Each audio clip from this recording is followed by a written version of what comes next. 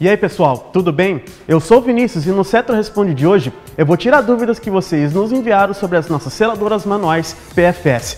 Vamos lá?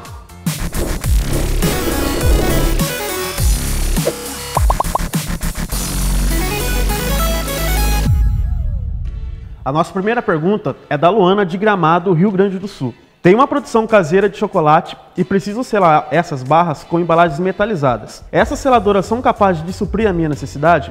As seladoras PFS fazem a selagem em embalagens metalizadas e outros tipos de materiais e espessuras. Para cada um deles, você precisa fazer o ajuste de temperatura no potenciômetro. São oito níveis de temperatura que você pode escolher. É simples e rápido. E a próxima pergunta é do Ademir de Campos do Jordão, São Paulo. Vendo o pacote de pururuca e ele tem 25 centímetros de largura e 35 de comprimento, qual seladora é mais indicada? Nós temos quatro modelos disponíveis: a PFS 100, PFS 200, PFS 300 e a PFS 400.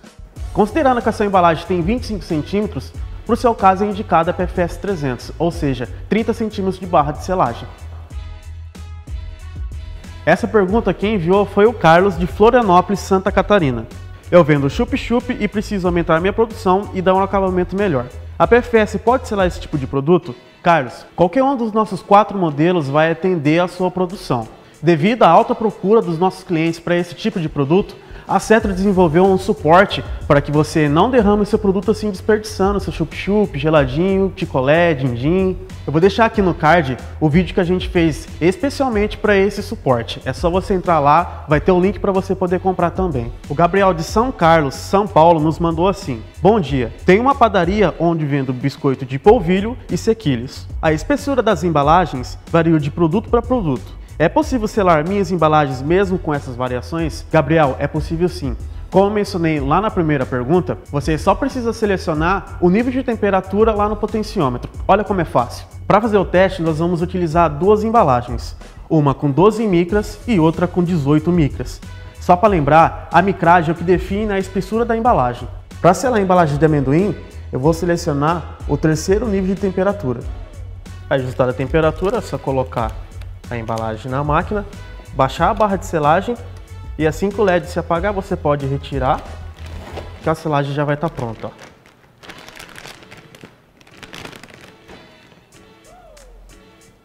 Agora, na embalagem da pururuca, como ela tem a micragem maior, a gente vai utilizar aqui ó, no quinto nível de temperatura.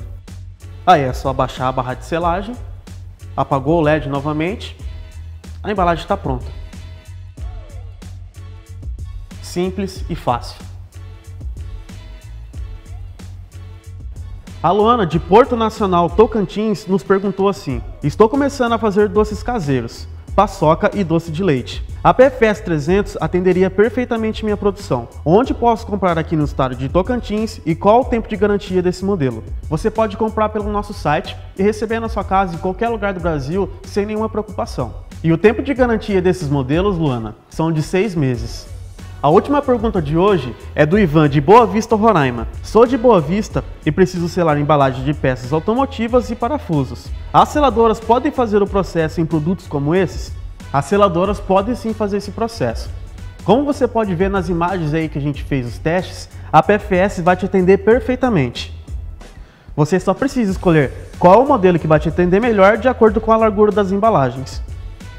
Lembrando que lá no nosso site você consegue comprar diversos tamanhos de embalagem para poder usar com as PFS. Ficou com alguma dúvida ou tem sugestão de vídeo? É só deixar aqui no comentário. Um abraço e até a próxima!